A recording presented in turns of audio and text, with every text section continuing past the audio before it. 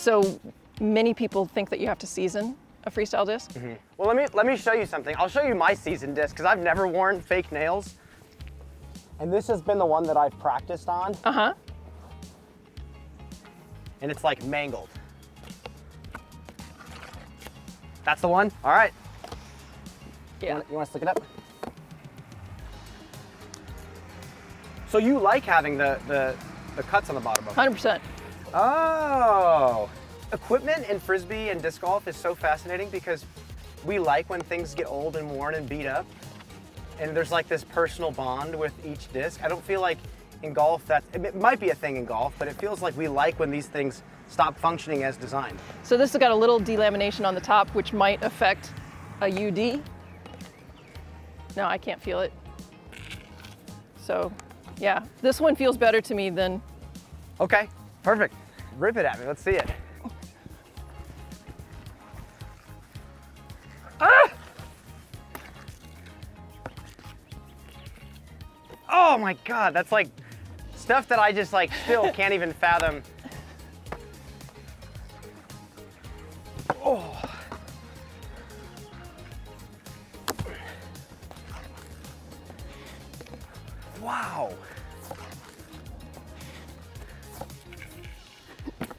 How much like how much time did you put in right when you got the bug and you were transitioning away from disc golf?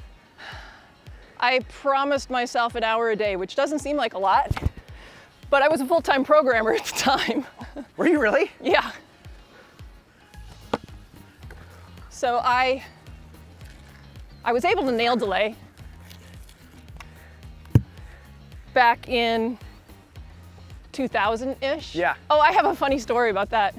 I had just won, I think, my third world title, and I went back to Des Moines and I spotted for an amateur event and I was trying to learn to nail delay and so I was you know well it wasn't wasn't that good it was I could maybe get a second but I couldn't really I mean even doing this was hard Was and, hard. and this was Impossible to hit you Yeah. in the face, yeah.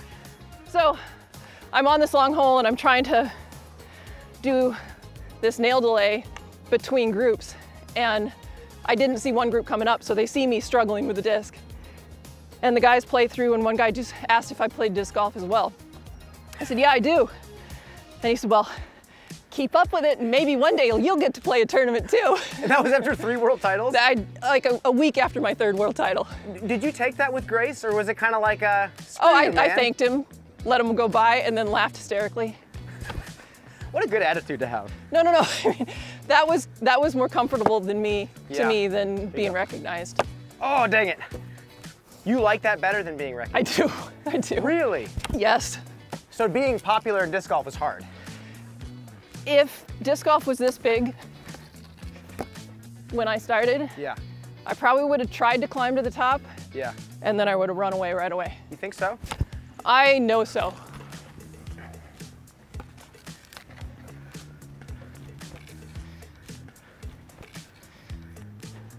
Oh, sick. What is that called? Bad attitude. Okay. The names in, in freestyle are hilarious. Who, who comes up with them? Like, If you invent it, you get the honor of naming it. how radically different was it when you finally immersed yourself in freestyle coming from all those world titles that you had? the most bizarre thing. So my my disc golf world titles, you know, that was back in the marathon days where you would play nine, a semi, and a final. And a world title in freestyle, you have to make it through the semis. With the women's divisions, they're so small that it's just directly to the semis. And then you got three minutes. Your world title is contested in three minutes. Is that terrifying? Yeah, it was. it was terrifying and it was just bizarre because it's so different. The transitions to another person are so hard.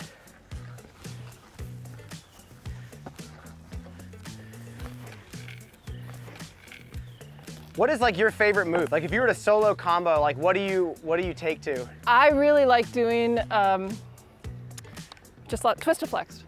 What is that? It takes a lot of spin. Want to give it back to me after I send Yeah. it to you?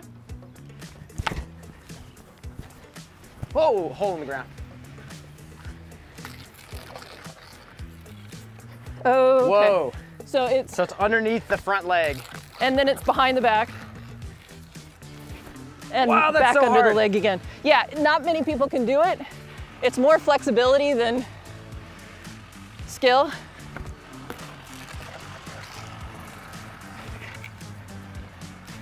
Wow, that's so crazy.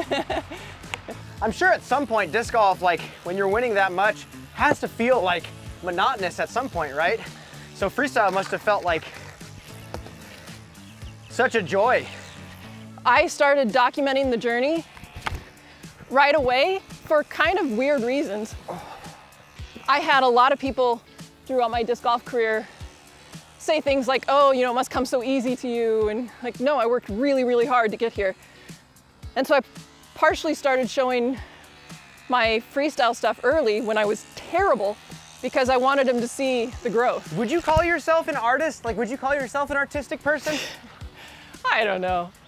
I, ju- I Uh, just find it funny because you're like a programmer and it seems like your brain really likes like numbers and data. Well, I, I love creating things. You know, I, I knit, I sew, I quilt, I, I like to deconstruct stuff and do it myself. And I guess I, you could say that I've done that with freestyle. A couple more. Ah, there we go. That was from Arthur Coddington. He told me I needed to be more creative.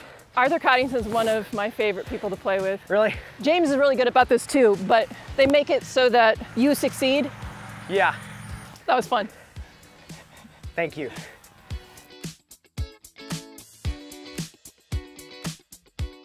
I have a, a surprise for you. I have a, it, it helps me to transition into what we should probably talk about next, which is disc golf, because we're at the Winthrop Coliseum right now. Innova gave me a present. I know the show's called Catch. This is a four-time JK Valkyrie stamped Makani, which is, for those of you watching, is a catch disc. But this stamp, can you talk about this real quick? Well, uh, so I was the first woman to ever have an actual signature series disc, and and it was it was the Valkyrie. I mean, they made the AVRX for me when I started with Innova, so that was a little bit different. But the Valkyrie was in honor of my successes, and I was the first woman to have that. And so this is, yeah, I I, have a handful of these, not on a not on this. Um, and I refuse to throw them because I want proof at some point in the future that they actually existed. so Well, this was a gift from Innova to you, um, and they, they said we want to let JK shine. So we want you to freestyle, but we also want you to remember the history of where you came in disc golf too. And I also want to tell you about this disc. This is not a, a Zephyr, but it's very close to Mm. a Zephyr mo- mold. And Zephyrs are what I use in accuracy, which was one of my favorite overall events. Really? Yeah. You want to toss that right now? Yes. Let's do it. Let's do it. when I initially gave them my signature, Dunipace complained that it wasn't quite pretty enough. Your signature wasn't pretty enough? it's my signature. I can't do any better. Did you practice it a lot when you first got the gig? no. You just laid it down on paper? Yeah, I don't remember. I just remember him uh, berating me slightly for not So- having a prettier signature. I interviewed Ken Climo last night for like an hour, hour and a half, and the most interesting thing that I gained from him was out of all the stories you hear, how confident he was, how cutthroat he was, when I asked him about getting his Tour Series disc for the first time, he was so bashful about it. Really? He said he said it felt weird. He said he felt maybe a little imposter syndrome, like he didn't feel like he deserved it. Did, did- like does that surprise you? yes, that blows me away. There, there's not a single person playing back then that would have said that he didn't deserve it. But there were a lot of people that wished that they could also have such an honor because he was it for the longest time. Like, how, how did you feel about it? Did you feel a similar w- way, or were you really excited about getting that tour series for the first time? Uh, gosh, I feel like I feel like I say, "Oh, I didn't deserve it," but no, I was I it was such an honor. I was so proud to be on a disc and I was so proud to be a woman and be on a disc. However, at that time, men thought it was a women's a woman's disc because a woman's name was on it. yes, a Valkyrie is a woman.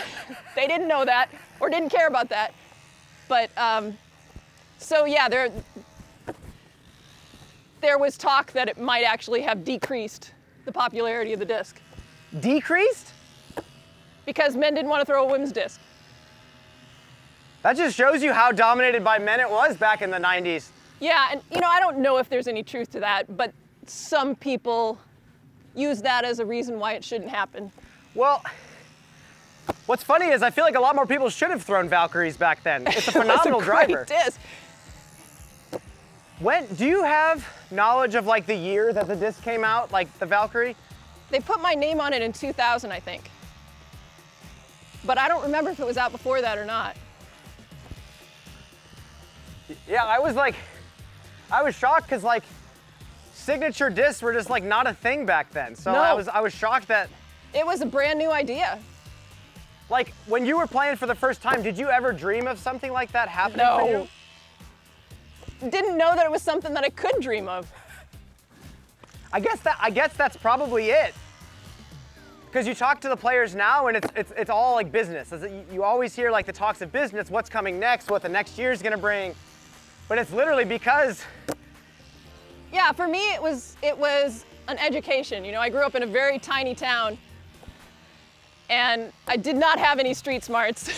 and this was a good way to sort of uh, see the world, or at least see the states. I asked Ken the same question, but how how many years were you full full time in disc golf? Were you ever? Yeah, yeah. After I got my master's degree, um, I taught a tiny bit, and then went out on the road. So probably three full-time years. How how was it? It was everything you can imagine. It was awesome and it was awful. you know, I lived in a van. The vans were not like they are today. Well, okay, what the heck? We'll get into it. Um, I was married very early because I was scared of the world. Small town, not worldly. Um, and my husband at the time and I, sweet, we actually we actually got an RV, and so we're touring around in the RV, and um, kind of knew that this was either going to make us or break us, and it was the latter. And so when finally said, okay, this is not working, um, I'm going to stay on the road. I don't care what what you plan to do. He took the RV. Oh, So I was left on the road with a little truck. and then the next year I ended up with Innova's help getting a van. But the vans were not tall. They were not insulated. It they're was not comfy. it, it was loud, it was dirty. I couldn't I couldn't stand up. It was not luxurious. It was not electrical. It was no no water. Like, it's so funny because like yeah, like van living is so romanticized. I feel like, but everything has a counterbalance. You know, what, what were the good sides for you of, of having the van and being out there on the road by Freedom. yourself? it, I was free. I could do whatever I wanted, whenever I wanted. And most tournaments were two day tournaments, so there was a lot more time in between.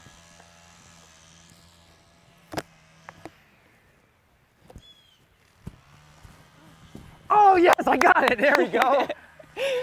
That's my favorite catch, like all-time favorite catch. Very pretty. What about you? What's your favorite catch? Well, I can't do it, but the Gaitis is my favorite. Oh, okay. I don't. I, I have had a lot of broken arms in my past, and so I'm scared to jump and do anything where I'm because I don't roll. I just do this, and then they snap, and I don't want to snap anymore. So I understand. we have so many COVID players that have never even played catch. Like it's crazy. I've done lessons and they the players have said, "Nope, I just got into disc golf and that's it." Can you give us the Guidus catch for dummies tutorial? I'm 5 years old. How do, how do I do a Guidus catch? Okay, so the wind, you always face the wind when you're playing freestyle. So if the wind is coming from this direction and the disc is going, typically the disc is going up into the wind and it's gonna come back and it's gonna come back on your left side and you're gonna take couple of steps, you're gonna jump into it with this big, beautiful, graceful leap and you're gonna catch, like the, the, the prettiest ones are where you do a switch kick. So you'll, you'll kick with the right and then in the air you'll switch so that the left And is you in reach front. over the And back then- leg. Then you reach, so it's opposite arm, opposite leg, catch right here, and then you roll out. You have to roll out. No, you don't have to, but, the way that the people do it, where it's most dynamic, you know, there's, it just happens. Do you have you landed those?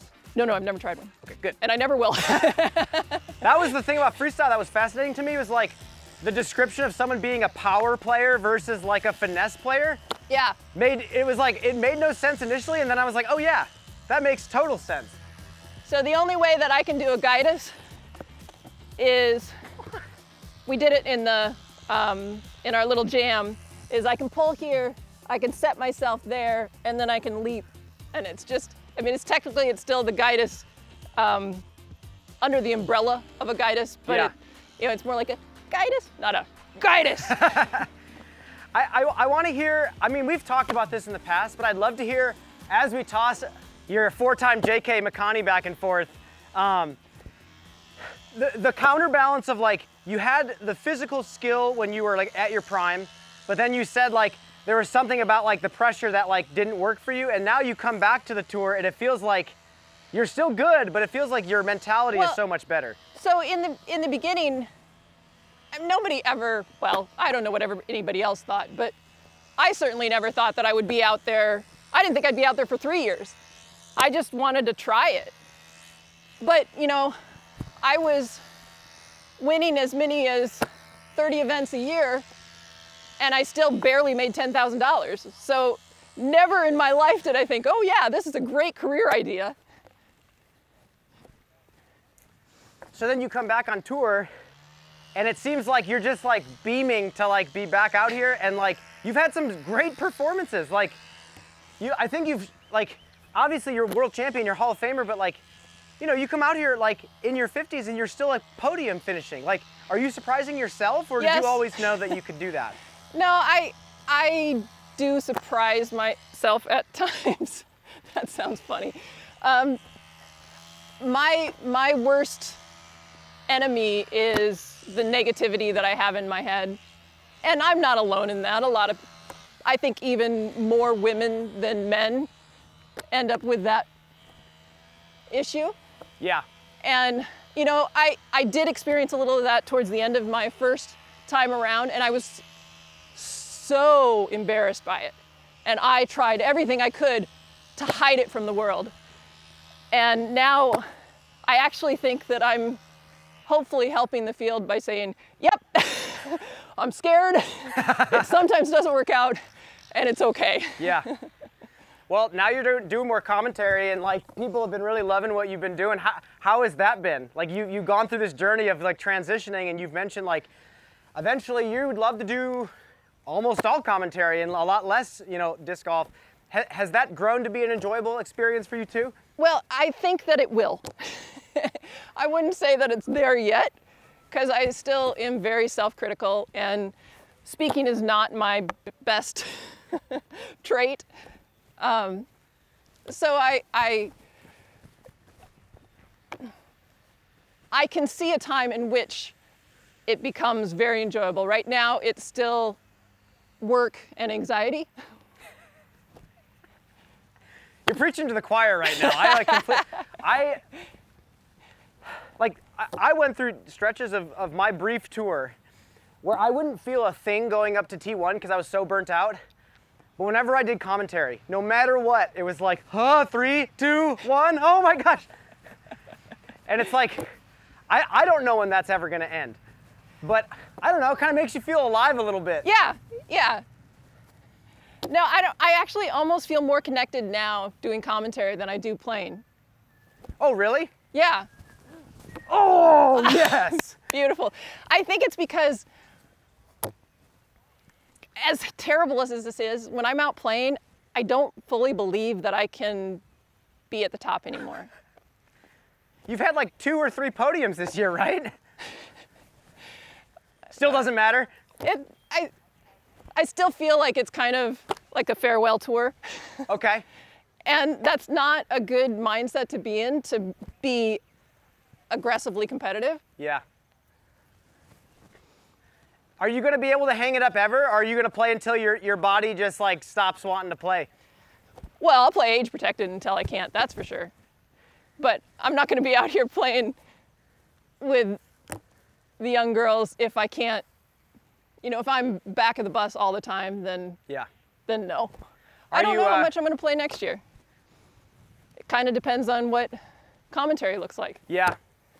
I think uh, I think it's funny. Disc golf is in general is year to year. You just never know what's going to happen these days. I'm kind of in the same boat. I guess I have one last question for you. Are you are you proud of where things are now? Are you proud of what the sport in general, what the FPO division, what everything looks like right now? Absolutely. I, I'm amazed. I'm so proud of these young girls. I'm proud of the uh, organizations that have popped up to support it.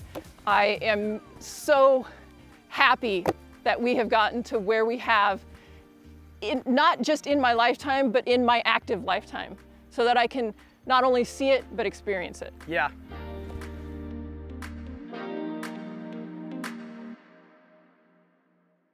Coming up next on Catch, we head to the Queen City of Charlotte, North Carolina, where the man himself, Jeremy Colling, gives me a crash course on Charlotte disc golf history and a glimpse into his very unique flying disc collection. We'll see you then. So, so hang on. So, there's a gap here that I don't understand. Yes.